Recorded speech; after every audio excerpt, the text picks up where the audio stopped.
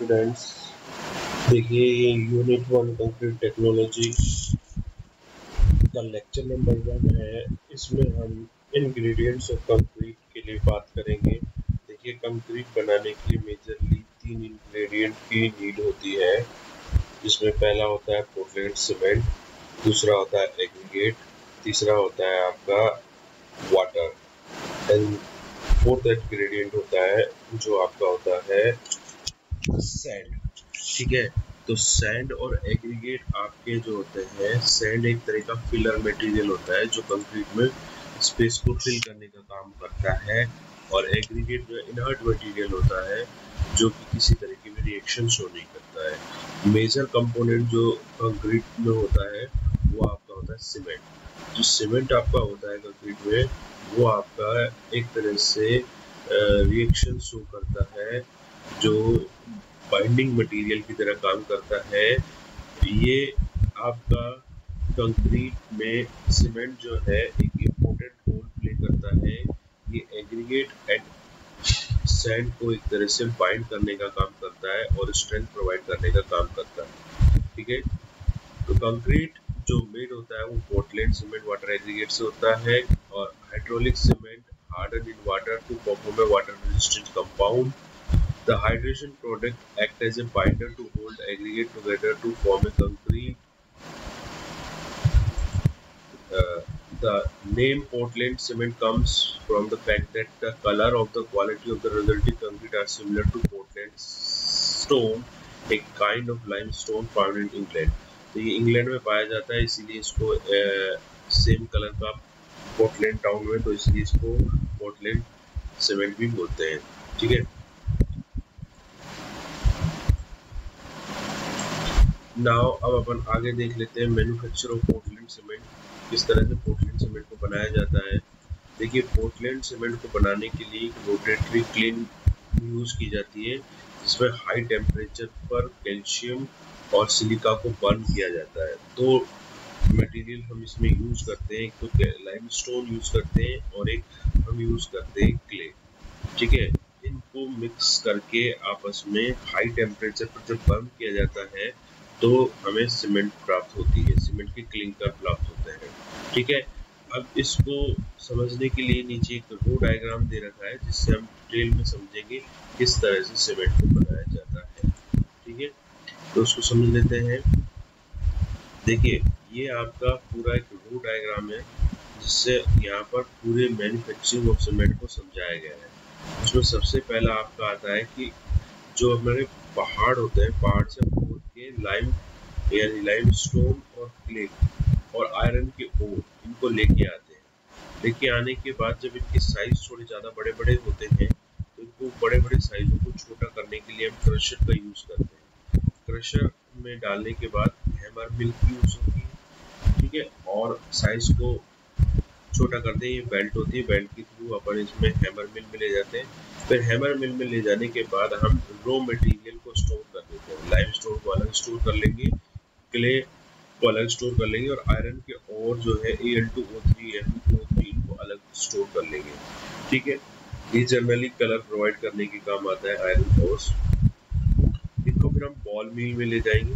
Ball मिल एक तरह से आपकी जो है इनको ब्लेंडिंग के लिए बॉल में ले जाकर उनको अपन ब्लेंडिंग सॉइल ब्लेंडिंग मतलब मिश्रण के लिए तैयार करते हैं। उसके बाद अपन ब्लेंडिंग के बाद इनको स्टोर करते हैं। स्टोर करने के बाद हमें इन्हें हाई टेम्परेचर पर एक रोटेटरी क्लिन में ले जाते हैं। इस रोटेटरी क्लिन में हम इनको बर्न करते हैं हाई टेम्परेचर पर। 1400 से डिग्री से लेकर 1450 डिग्री सेंटीग्रेड पर हम इसे रोटेटरी क्लिन में बर्न करते हैं। बर्न करने के बाद हम इन्हें जो है हमें जो प्रोडक्ट प्राप्त होता है, उसको हम बोलते हैं क्लिंकर ठीक है? तो क्लिंकर ग्रे कलर का एक बॉल्स प्राप्त होती है, जिसको हम बोलते हैं क्लिंकर अभी क्लिंकर जो होता है आपका, वो उसकी प्रॉपर्टी क्या होती है कि अगर उसमें आप वाटर ऐड करोगे तो वो तुरंत सेट हो जाता है। तो इसीलिए हम इसमें कंक्रीट में सेटिंग टाइम को रिटार्ड करने के लिए सेटिंग टाइम को कम करने के लिए, ताकि कंक्रीट जल्दी से कंक्रीट में जो सीमेंट होता है वो जो क्लिंकर में मिलता है, वो क्लिंकर पानी मिलाते ही सेट हो जाता है फ्लैश सेट होता है उसमें।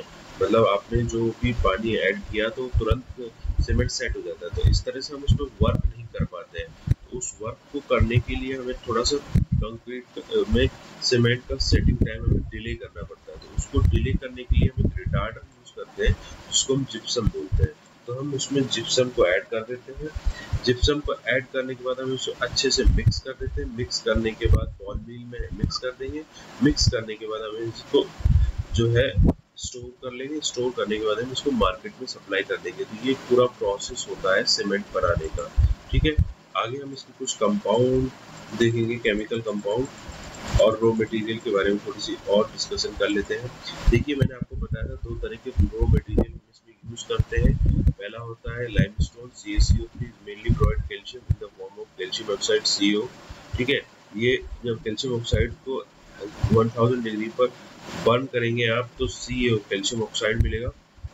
लाइम स्टोन लाइमस्टोन CaCO3 को बर्न करेंगे कैल्शियम ऑक्साइड सी ओ मिलेगा और CO2 गैस जो है एनवायरनमेंट में रिलीज़ हो जाएगी। ठीक है? Clay is mainly provided from silica SiO2 together with small amount of Al2O3 ये चीज़ें काम आती हैं। ठीक है? आयरन के और और bauxite are provide additional aluminium and iron oxide Fe2O3 which helps the formation of calcium silicate. Calcium silicate को हेल्प करते हैं। ठीक है? कैल्शियम uh, सिलिकेट अब ये तीनों को जब आप हाई टेम्परेचर पर बर्न करोगे रोटेटरी क्लिन में तो आपको ये केमिकल कंपाउंड मिलेंगे tri tri silica tricalcium silicate, dicalcium silicate, tricalcium aluminate और टेट्रा कैल्शियम एल्यूमिनेट फेरेट। इसका शॉर्ट नाम होता है सी थ्री एस ठीक है? इसको बोलते हैं सी टू एस इसको बोलते हैं सी थ्री ए और इसको बोलते हैं C4AM तो ये कंपाउंड हम सीमेंट में मिलते हैं, इनको जब हम हाई टेम्परेचर पर बर्न करते हैं। ठीक है?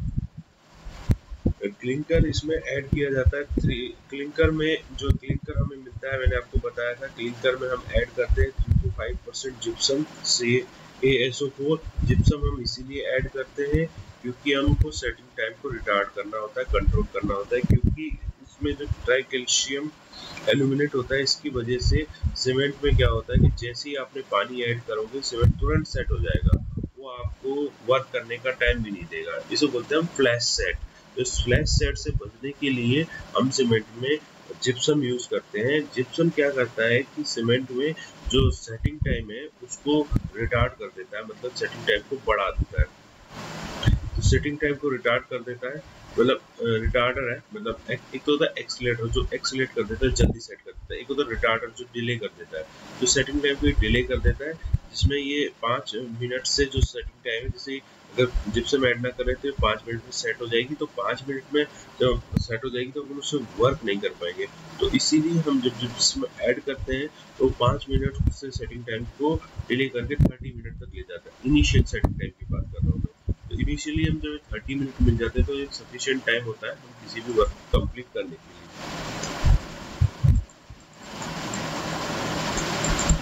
ये कुछ एब्रेसिव है जो हमें यहाँ पर अपन ने समझे कैल्शियम सी ए सी से डिनोट करेंगे एस आई ओ टू को एस से डिनोट करेंगे एल टू ओ थ्री को ए से डिनोट करेंगे एफ़ टू ओ थ्री को एफ़ से और सी ओ एच ओल्ट्राइज को कैल्शियम हाइड्रोक्साइड को सी एच से डिनोट करेंगे।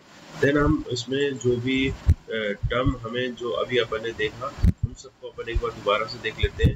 देखिए, एक तो मैंने आपको बताया था कि ट्राई कैल्शियम सिलिकेट मिलेगा सी टी एस फिर दूसरा डाइकैल्शियम सिलिकेट मिलेगा सी टू एस फिर ट्राई कैल्शियम एल्यूमिनेट मिलेगा C3A और टेट्रा कैल्शियम एल्यूमिनेट फेरेट मिलेगा। इनके यहाँ पर कलर दे रखे हैं व्हाइट व्हाइट व्हाइट ग्रे और ब्लैक कलर का। और इसका कॉमन नाम है जिनको अपन लाइट विलाइट और एफराइट के नाम से जानते हैं।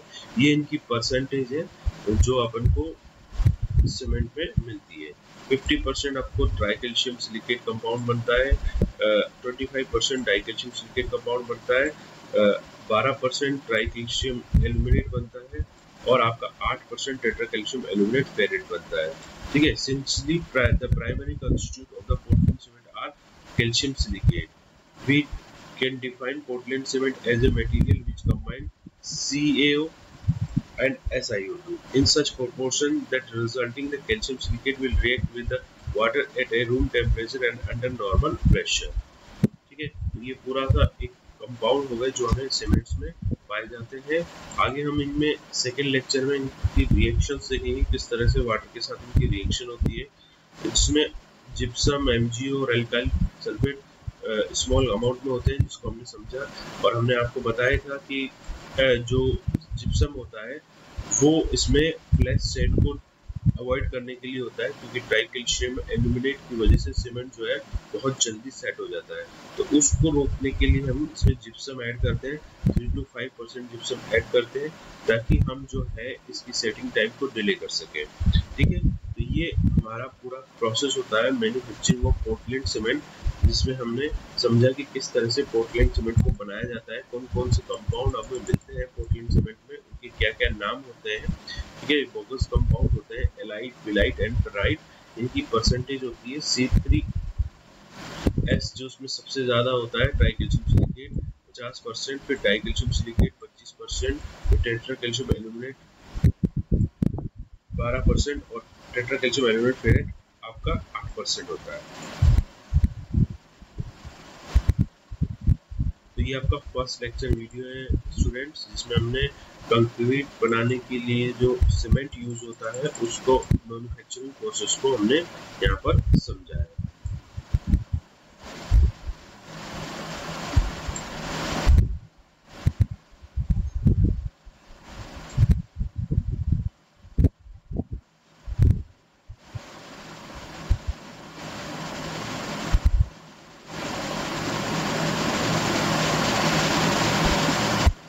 सेकेंड लेक्चर वीडियो में हम जो है हीट ऑफ़ हाइड्रेशन यानी कि सीमेंट में जब वाटर को ऐड किया जाता है तो एक हीट लिबरेट होती है तो उस हीट ऑफ़ हाइड्रेशन का प्रोसेस समझेंगे किस तरह से वो हीट लिबरेट होती है, कितने अमाउंट में हीट लिबरेट होती है, क्या रिएक्शंस होती हैं सी एस जेल बनता है, उसकी क्या फॉर्मेशन होती है, वो किस तरह से एक्ट करता है, वो सब चीज़ों को हम सेकेंड लेक्चर में समझेंगे।